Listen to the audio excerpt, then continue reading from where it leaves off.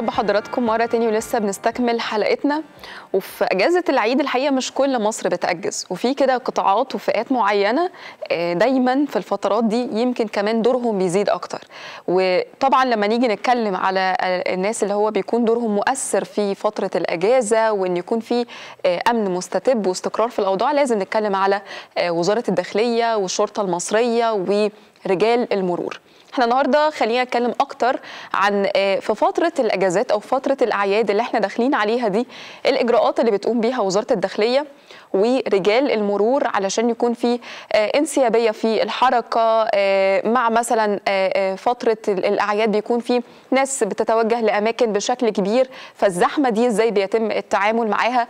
كمان الطرق السريعة اللي بيكون في ناس بتسافر عليها بيكون في تدفق كبير أيضا على هذه الطرق إزاي بيحافظوا على الأمن في هذه الفترة. خلينا نرحب معانا على التليفون بسيادة اللواء أيمن الضبع استشاري السلامة المرورية في وزارة الداخلية. أهلا بيك معانا سيادة اللواء. أهلا بيك يا فندم كل سنة وحضرتك طيبة. والساده المشاهدين دايما بخير بمناسبة عيد الاضحى المبارك. كل سنة وحضرتك طيب وكل مصر بخير يا رب وزي ما قلت يعني فترة الأعياد في ناس دورها بيزيد وحضراتكم طبعا بتقوموا بدور مهم جدا في الفترة دي فترة الأجازات مش بتأجزوا مع بقية الناس يعني بيكون دوركم مختلف شوية. لو هنتكلم سيادة اللواء على خطة وزارة الداخلية من أجل عملية التأمين تأمين الشوارع والحركة المرورية في فترة الأجازات. طبعا زي ما قلت لحضرتك كل سنة والشعب المصري كله بخير. بمناسبة عيد الأضحى المبارك اعاد الله علينا جميعا بالخير والسعادة واليسر والبركات. عيد الأضحى بيمثل مناسبة دينية وبيمثل عند الكثيرين مناسبة للخروج أجازة نسبيا كبيرة. فبيبقى في فرصة كبيرة للخروج وفي بعض العادات الموجودة عند المصريين بقى الانتقال والزيارات والتزاور فبيبقى في رحلات غير عادية عن الأيام الطبيعية. وزارة الداخلية كعاداتها كل عام بتستعد استعداد كبير قوي لمثل هذه المناسبات لتحقيق الأمن والسيطرة على الطرق وتحقيق السيولة المرورية على الطرق. ففي استنفار كامل لرجال وزارة الداخلية من كل التخصصات من ضمنهم طبعا تخصص المرور وله كثير من الشغل في هذه الفترات رحلات طويلة فيها جزء كبير بيبقى رحلات ممتدة رحلات طويلة فبيتم تأمين طبعا الطرق تقسيم قطاعات الطرق إلى قطاعات وفي خدمات مسيرة على كل هذه القطاعات وكل ده مرتبط بغرفة العمليات المركزية لكل محافظه ثم غرفة العمليات المركزية سواء الإدارة العامة للمرور أو غرفة العمليات المركزية للوزارة. متابعة لحظة بلحظة كل ما يتم على الطرق. التليفونات طبعا مفتوحة إخواتنا اللي موجودين على كل الطرق. خدمات الاغاثه موجودة على الطرق في حالة وجود أي موقف طارئ. الاتصال ب 0122 111 أربع اصفار رجال وزارة الداخلية موجودين وبيتم الانتقال وفحص الشكوى وتوفير كل سبل الأمان وكل سبل الراحة لإخواتنا المواطنين اللي محتاج عنده مشكلة حقيقيه بيتم التعامل معها وعدم تركه اطلاقا إلا بعد الانتهاء منها. آه بس أنا ليا بعض الوصايا بقى إخواتنا.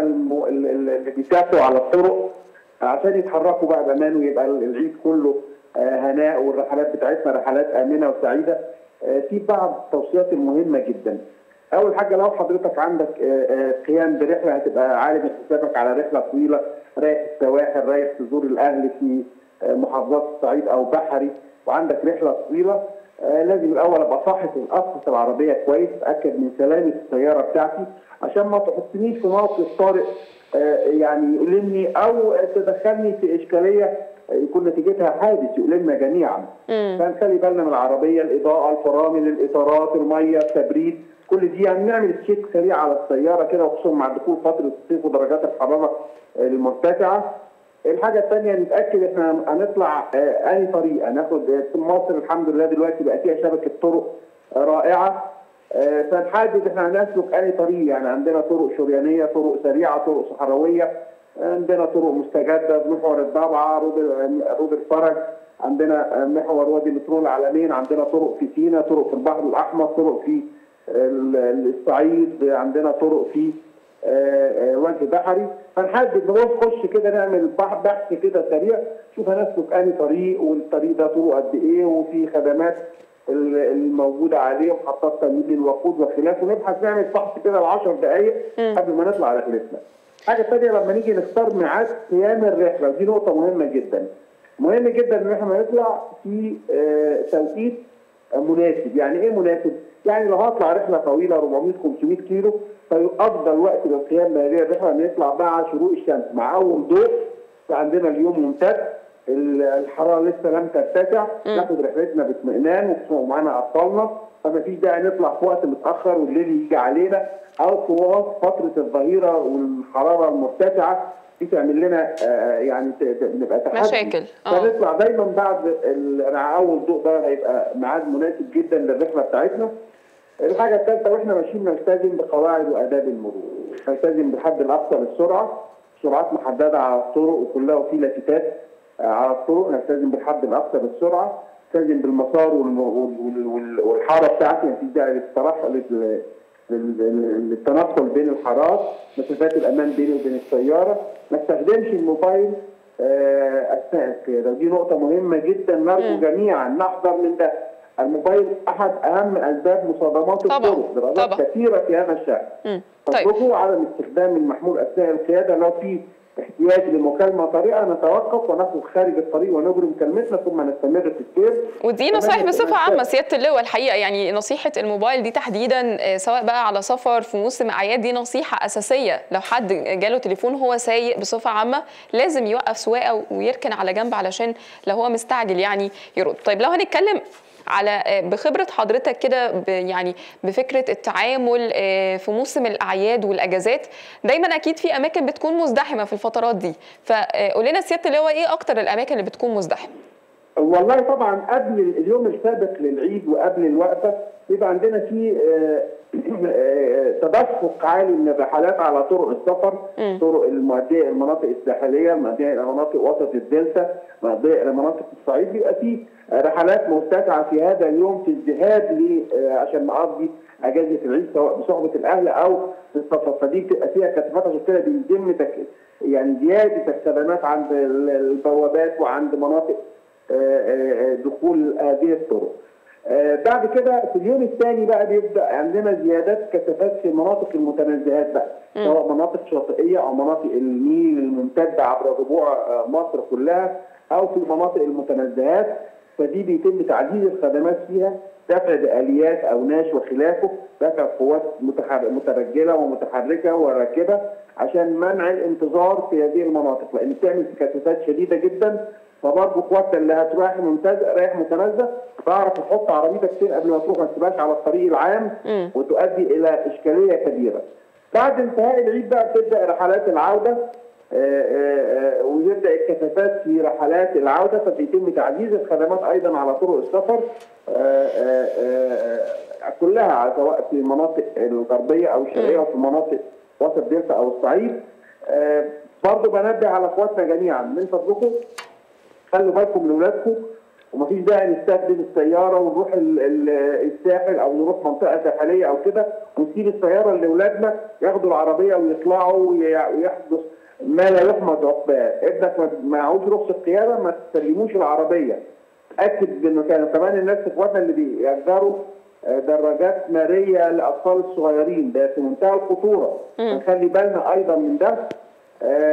يعني إحنا بنحاول نوفر يعني وزاره الداخليه بتحاول توفر قدر كبير من الأمان ولو في أي ما يساء على الطرق في أي موقف طارئ فممكن التواصل على 0122 111 أربع اصفار خدمات مسيرة مستعدة لتلقي البلاغات والانتقال ليها لكن بنهيب إخواتنا جميعا عدم استخدام هذا الرقم إلا في محله لو في حالة وجود موقف طارئ عشان نقلل من حجم الطلب على هذا الرقم فيقدر يؤدي الخدمة بتاعته بالكفاءة المطلوبة. طيب سيادة اللواء لو هنتكلم على فكرة وجود طرق بديلة أو أبرز التحويلات اللي بتحصل في الشوارع خلال الفترة اللي جاية برضو نحب ناخد فكرة عن عملية تبديل الطرق أو التحويلات أو يعني الطرق اللي يفضل ناخدها كطريق بديل للطرق اللي إحنا متعودين عليها. والله في فترة الإعادة بيتم إيقاف كثير من الأعمال على الطرق، كان عندنا كمان جزء كبير من طريق اسكندرية الصحراوي اللي كان بيتم العمل. عليه تم افتتاحه والرجوع تاني للطريق الرئيسي. عندنا الطرق بقول لفاتنا جميعا جربوا الطرق الجديدة، جربوا طريق شبرا بنها، شبرا بنها طريق رائع مفيش داعي نستخدم الطريق الزراعي. طريق لو رايح اسكندرية استخدم طريق اسكندرية الصحراوي، مفيش داعي استخدم الزراعي. لو رايح مناطق الساحل والمناطق الشمالية استخدم طريق وادي النطرون العالمين استخدم محور رود الفرج الطابعه لو رايح شرم الشيخ ومناطق جنوب سيناء استخدم الطريق الجديد بيربط من عيون موسى إلى شرم الشيخ مباشر مفيش داعي أستخدم الطريق الساحلي. برضو عندنا أسيوط الغربي ده طريق بيمثل بديل جيد جدا للصحراء للطريق الزراعي الغربي الشرقي يعني قدر المستطاع نستخدم الطرق الحديثة ونشوفها على زي ما على وسائل التواصل وعلى المابس وكده هنلاقي الطرق دي رائعة جدا في استخدامها بس نلتزم بضوابط القياده الامنه في أثناء السير. طيب عملية الإغاثة سياده اللواء على الطرق وإحنا طبعا عارفين وارد جدا يعني لا قدر الله يحصل مشاكل. فتنصح بإيه المواطنين على الطرق تحديدا لو حصل أي حوادث أو أي مشكلة؟ إزاي ممكن يستغيثوا أو يطلبوا المساعدة وهم على طرق السفر بقى وأي طريق واخدينه يعني؟ أول حاجة هعيد بس حتة في اللي أنا قلته إن حدد ميعاد رحلتك دايما اطلع رحلتك مبكرة مفيش داعي يدخل عليك الليل وال بالليل. فدايما الرحلة بتاعتنا تبقى رحلة صباحية مع بداية الشروق. تبقى الرحلة دي رحلة آمنة ومطمئنة إن شاء الله. لو حصل موقف طارئ اولا ما تنزعجش بشده في داعي لل panic reaction ما تنزعجش بهدوء. اخرج بعربيتك خارج الطريق خارج الطريق تماما مش في الحارة اليمنى خارج الطريق في منطقة آمنة. توقف. طلع المثلث العكس قبل السيارة ب 30 متر. ونتكلم إما خدمة الإجازة اللي هي 0122 أو 111 أربع أطفال أو أو أو حتى خدمة النجده. في خدمات مسيرة موجودة والداخلية دافعه بعدد كبير من السيارات في قطاعات على كل الطرق على مستوى الجمهورية. مغطيها الحمد لله بشكل كبير. فهيتم تلقي بلاغك تحديدا وتلقي اللي انت عايزه بالظبط. محتاج وقود محتاج عندك مشكلة فنية في العربية محتاج دليل يعني كل ده هو تحت نظر وزارة الداخلية وخدمات الاغاثه الموجودة بيتم تلبية ويمكن يوميا عدد كبير جدا بتتلقاها خدمة الاغاثه وبيتم الدفع بالقوات ويعني فرض هذا الموقف الطارئ على الطرق بالراحه وبهدوء وما نشغلش هذه التليفونات إلا في حالة الاحتياج عشان نقدر نتلقى منها الرد المناسب واللي نبتغيه واللي أنشئت من اجله هذه الخدمات. نتمنى طبعا السلامة للجميع وبنشكر حضرتك ولكل يعني المرور في مصر والشرطة المصرية على الدور المهم اللي بتقوم بيه بصفة عامة وتحديدا كمان في فترات الأعياد. بشكرك جدا اللواء أيمن الضبع استشاري السلامة المرورية في وزارة الداخلية. حبينا كده نطمن على الأوضاع خلال الفترة اللي جاية وناخد نصايح بصفة عامة. زي ما سمعنا من سيادة اللواء في مجهود كبير جدا بيتعمل من من قبل رجال المرور لكن إحنا كمان علينا دور الحقيقة. آه نفكر في الأوقات المناسبة إن إحنا ناخد فيها الطريق. آه زي ما سمعنا في مواعيد يفضل إن إحنا نبتعد عنها وكمان ناخد حذرنا في السواقة وما نمسكش الموبايل ويعني التعليمات اللي إحنا كلنا عارفينها. طيب خلينا ناخد مع حضراتكم بعض من الأخبار العاجل بيانات خاصة بقداسة البابا توادرس الثاني وبالكنيسة القبطية الأرثوذكسية. قداسة البابا يهنئ الرئيس السيسي بعيد الأضحى. قدم قداسة البابا توادرس الثاني التهنئة للسيد الرئيس عبد الفتاح السيسي بحلول عيد الأضحى المبارك. وبعث قداسته برقية تهنئة بهذه المناسبة. قال فيها السيد الرئيس عبد الفتاح السيسي رئيس جمهورية مصر العربية بالأصالة عن نفسي وباسم الكنيسة المصرية القبطية الأرثوذكسية يسرني أن أقدم لفخامتكم ولجميع أحبائنا المسلمين أصدق التهاني القلبية بمناسبة حلول عيد الأضحى المبارك. شاكرين الله الذي يعين مساعيكم في تنمية البلاد ومواجهة التحديات المختلفة. وندعوه أن يبارك كل ما تمتد إليه أيديكم لبناء وطننا العزيز مصر وتحقيق أمال المصريين.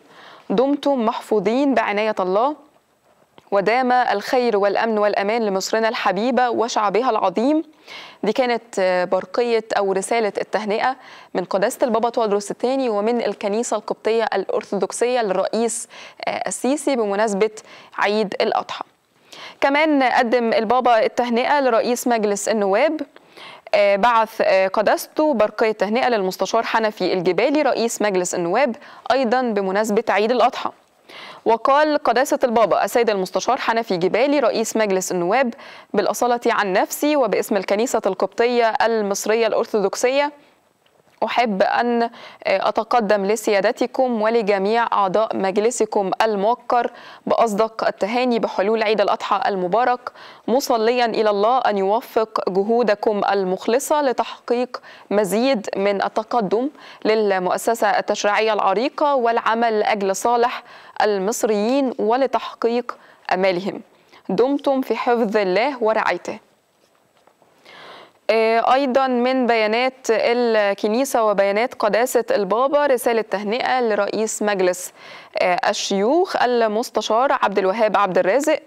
هنأ فيها قداسة البابا المستشار عبد الوهاب عبد الرازق رئيس مجلس الشيوخ وأعضاء المجلس بمناسبة أيضا عيد الأضحى.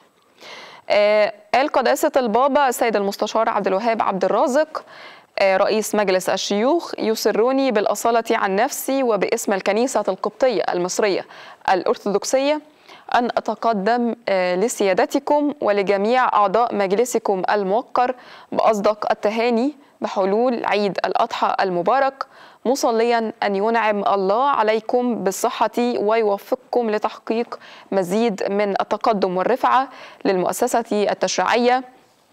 إعلاء للمصلحة العامة للوطن والمواطنين وتحقيق الأمال والطموحات الوطنية كافة. دمتم في رعاية الله وأمنه. زي ما إحنا شايفين كده رسائل تهنئة زي ما شفنا للرئيس السيسي لرئيس مجلس النواب ولرئيس مجلس الشيوخ وأيضا هنأ قداسة البابا شيخ الأزهر بعيد الأضحى. بعث قداسة البابا تودروس الثاني برقية تهنئة لفضيلة الإمام الأكبر الدكتور أحمد الطيب شيخ الأزهر الشريف بمناسبة عيد الأضحى المبارك.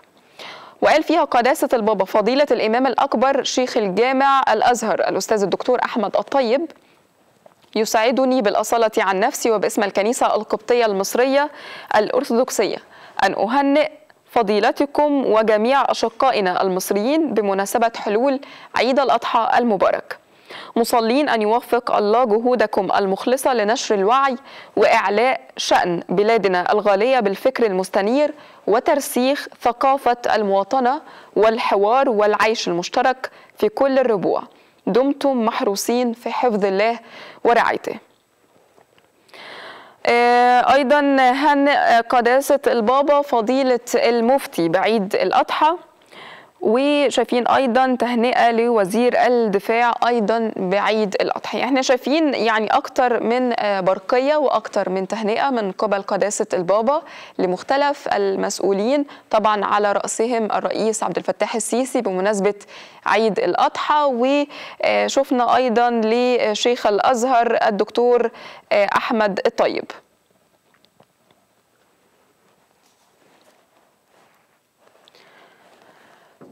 طيب مشاهدينا لسه حلقتنا مكملة مع حضراتكم. خلينا نخرج لفاصل سريع وبعد الفاصل نستكمل حلقتنا. استنونا.